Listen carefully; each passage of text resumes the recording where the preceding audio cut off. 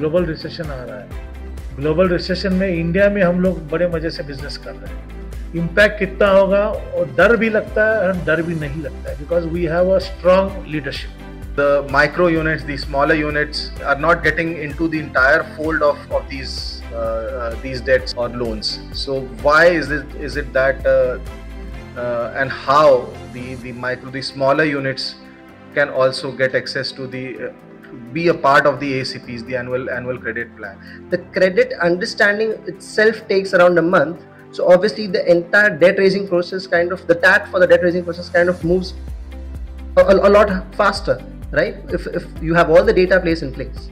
As of now, we have approximately 100 corporates were registered, and this is increasing day by day.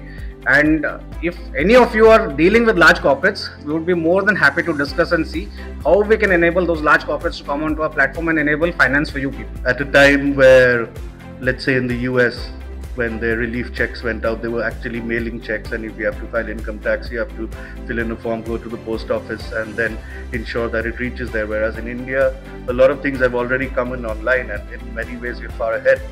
And UPI is another fine example for uh, public digital infrastructure, which has really transformed the way payments work.